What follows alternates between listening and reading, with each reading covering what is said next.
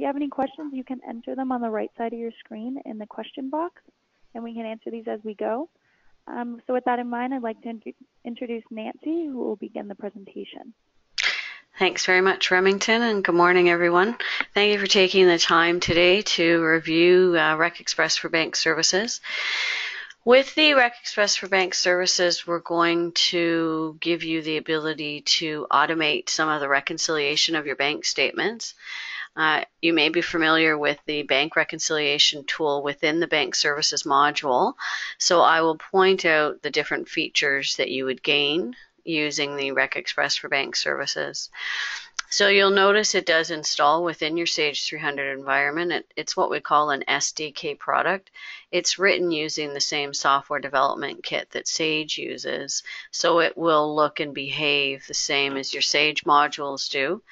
And it does embed itself under the administrative services of Sage 300, so you can determine what users would have access to this module and the features within it.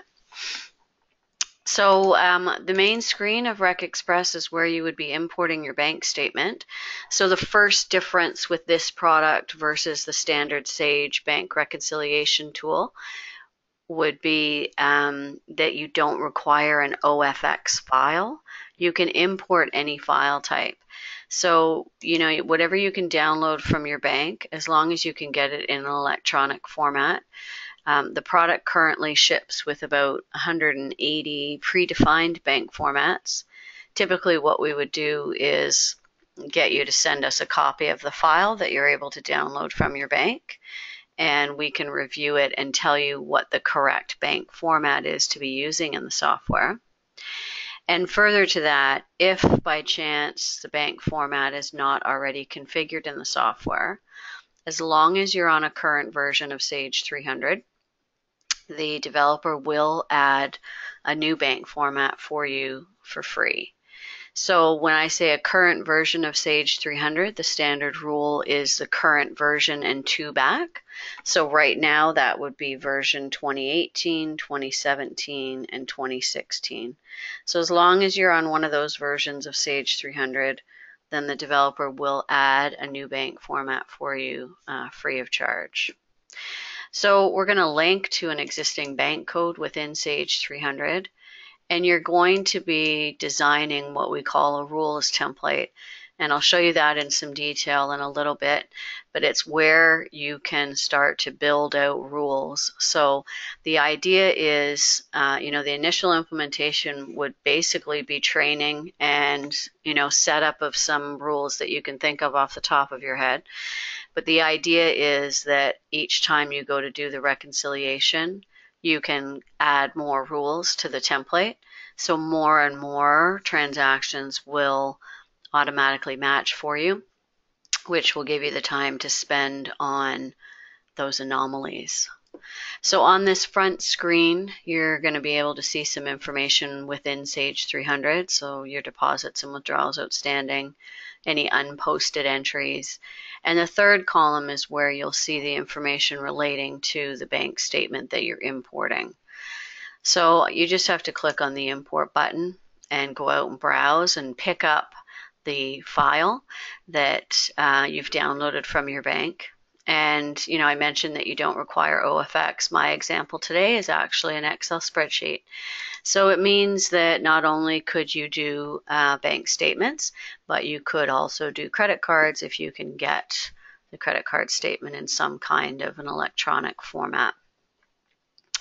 So I'm just going to say OK to import that. Um, it'll start the import process and it will give you some information related to the import uh, in my case, how many records are going to be inserted. Now, as soon as I hit the close button, the system's going to go through the matching process based on the information I have set up in the software. RecXpress for Bank Services will do two passes of uh, trying to reconcile. So the first time it's going to pass through and try and match based on a reference. And then the sec it'll go back and pass through all those transactions a second time looking at those that are still outstanding and try and do an, a match based on an amount. Now, if it finds a matching amount, um, more than one that are the same, then it will refer to the date and it will match it based on the closest date to that amount. So once that is imported, the third column on this main screen populates and it will tell us the value of what was imported, the value that matched automatically, the value that was left is unmatched, and we do have a special category called matched with error. Uh, what will fall into this will be where the system has found a matching reference number, but there is a variance in the amount. It's still going to match it based on the reference, but it'll put it into this special category of matched with error. Oftentimes that might be a penny or two if you have exchange rate differences, that sort of thing. But we'll highlight it for you so that you can then determine how you want to handle that variance. So when I go into the main RecXpress screen, I'm now seeing all the details related to the transactions on the bank statement that I've imported. And you'll see there's a number of different import statuses here. But um, first, I just want to highlight the feature where if I click on this box to show bank, it's going to split the screen for me. The top of the screen is still those line items that have just imported on the bank statement but now I can see the related transactions within the bank services module. So as I click through here, you would see that it's going to highlight the corresponding transaction in bank services. Anything with an X on the statement lines means that it's been reconciled. Um, so there's a number of different statuses. So those that it deemed as a correct match, that matched with error category that I mentioned, those that matched by amount. So as you click on any of these statuses, it's going to filter the information for you. So it's easy for you to review what the system matched. And if by chance there's something that it matched that you're not satisfied with, nothing's cast in stone here. You can certainly override anything that the software matched automatically for you. Uh, it's just a matter of coming down to this used column and saying, no, I don't want to apply it that way. And it will reverse and you see the status went back to a no match. So although it does the matching for you, you certainly can easily override it. Um, it will highlight those if there's multiple transactions that have the same amount. It'll isolate those or filter those for you. Ultimately, you'll be left with the no match that we'll come back to in just a second. But another key feature I want to point out with the RecXpress for Bank Services that you do not have within the standard bank services module is the ability for you to match one line item on the bank statement against multiple entries in bank services or the other way around, multiple line items on the bank statement that relate to one transaction in bank services. So that's a feature that you don't have within the standard bank services module. Um, now that's not something that we'll be able to automate for you. That's something that you'll have to do manually, but um, certainly any one-to-one -one type entries uh, you can create a rule for. So each time you do your reconciliation, ultimately you'll be left with these no match uh, transactions. So just to show you how you would do that one to many or many to one, if I highlight a line here on the bank statement based on these comments, I can tell it relates to three entries in bank services. So you just highlight the line on the bank statement, and then you can come down into bank services and you can sort these by reference, by date, by amount or description and you would search for the entries in bank services that you want to match against. And I can see they're here, they are here, uh, 4567, the 5896, and 5789. So how I go about matching those is just highlighting the line and under this used column, double click to say, yes, I want to apply it. And then I could go to my next line and the third line and it will change the entry many bank to one statement and it will uh, put an X here to signify that it's been uh, cleared. So that's how you would go about doing a manual process. But anything where it's a one-to-one, -one, you know, one entry in bank services and one entry on your bank statement, you can start to generate what we call rules. So you'll have a rules template Um, and these rules can be divided by categories. So I'm going I'm just highlighting deposits for the presentation today, but you can have different rules based on each category. And um, this is where we're giving you a lot of flexibility to utilize any piece of information on the bank statement that identifies an entry. So, you know, the transaction codes are something that the bank assigns and maybe that's all you need to match with.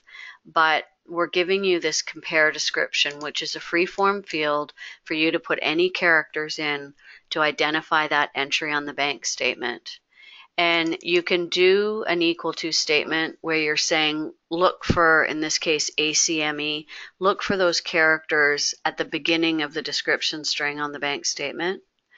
Or you can use a like statement where you're saying, look for ACME, those four characters together, anywhere within the description on the bank statement. And we've also provided you with wildcard capability. So it means now that it's pretty much unlimited in terms of the information you can use on that entry on the bank statement to identify it. So you could say, look for ACME, and then there's going to be five characters that I don't care about, and then look for these other characters after that. So you can utilize multiple pieces of information from that description on the bank statement. Once you've identified it, you can then specify how you want to handle it within Sage 300. So if you're using distribution codes or distribution sets in AR or AP, you can utilize those here. So you can say when an entry like that comes in, this is how I want it distributed. Or you could specify a GL account. So maybe something like interest coming in on the statement, I just want you to direct it to this GL account. Or you can generate entries within AR, AP, or the bank services module. So you can specify what the entry type is, whether it's a bank services entry, an AP or an AR entry. And by the way, this will be flowing through your bank services module. Um, but in the case of AR or AP, you could specify a vendor or customer for that entry and then specify how you want to handle it for that vendor or customer. You can say generate a prepayment against that vendor or customer and a user is going to come along and apply the funds as necessary. Or you can auto allocate it so start with the oldest invoice first and apply until funds have been consumed. look for an equal amount or look for a document number to apply against.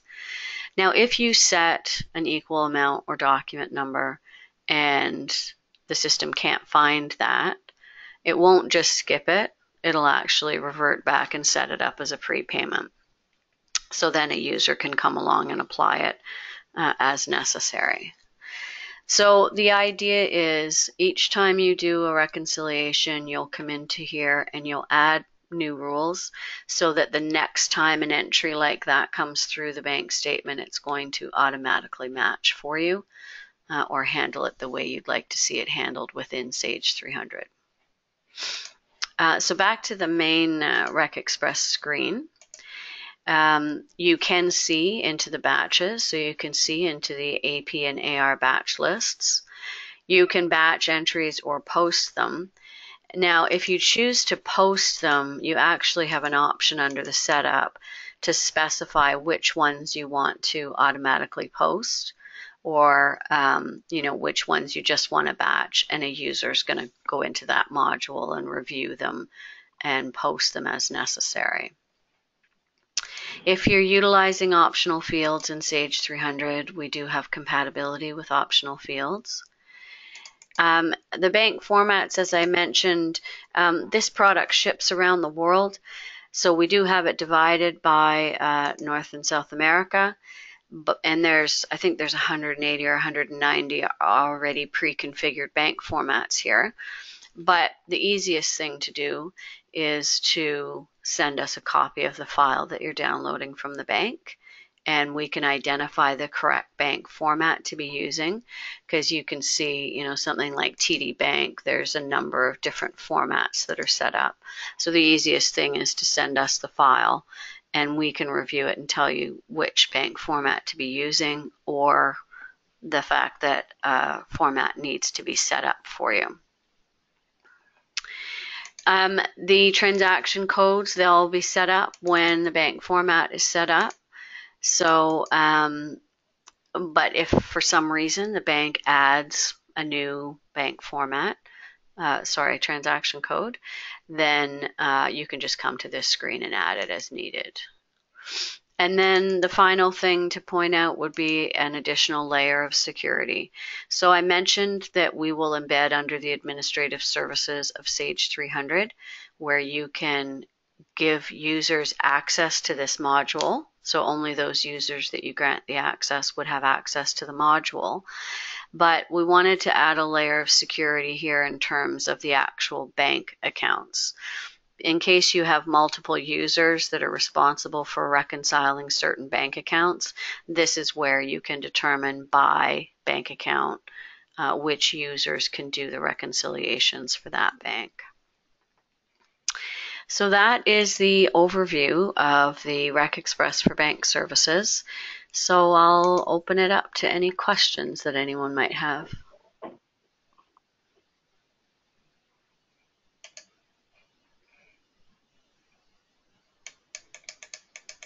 Quiet group today. Just checking through the chat here. Remington, I guess you didn't see anything come in. No, I didn't see anything come in. Okay. If you want to connect your audio as well, if you'd prefer to ask vocally, you can do that as well.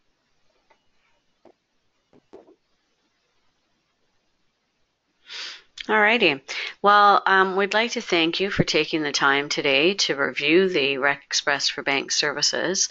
If you do come up with questions later on, by all means, you can contact Remington at Bredet. And uh, if she doesn't have the answer, she knows how to get a hold of me. So thanks very much, everyone, for taking the time today. Okay, perfect. Thank you. And I'll actually get that uh, recording sent out as well. Um, once it becomes available. Yes, I'll send that off to you in short order. Okay, perfect. Have a good day, everyone. Thank you again.